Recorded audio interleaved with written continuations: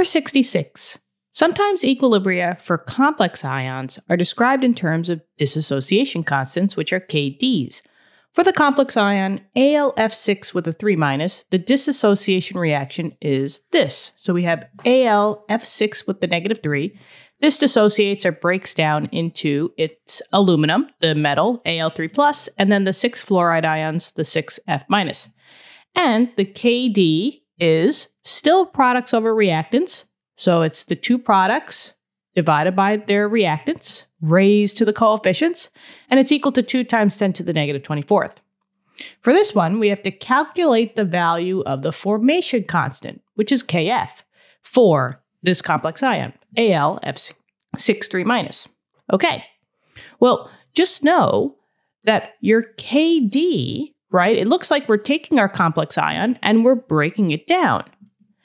On the flip side, if we are literally forming, right, a formation constant, Kf, we have to form or make the complex ion.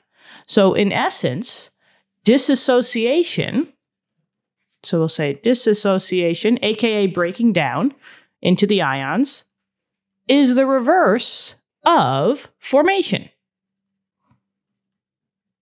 So if we wanted to write the balanced equation for the formation reaction for this complex ion, we would form it from its ions.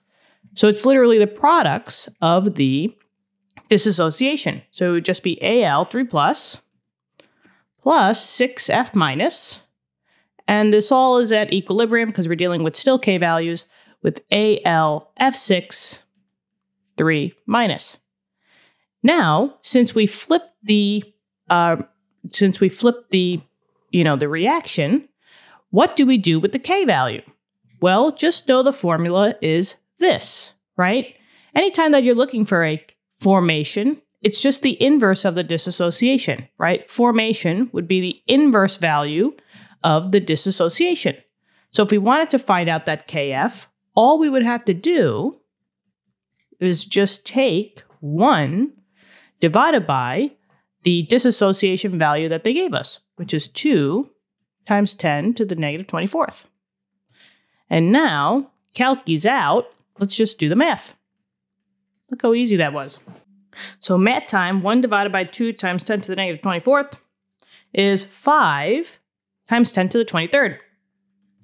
5 times 10 to the 23rd. And that's it. That's your formation constant. 5 times 10 to the 23rd for this complex ion, AlF6 3 minus. And that's it. I really hope this helped you out. Let me know in the comments, subscribe to the channel, and I hope to see you or talk to you in future lessons. Okay, bye bye.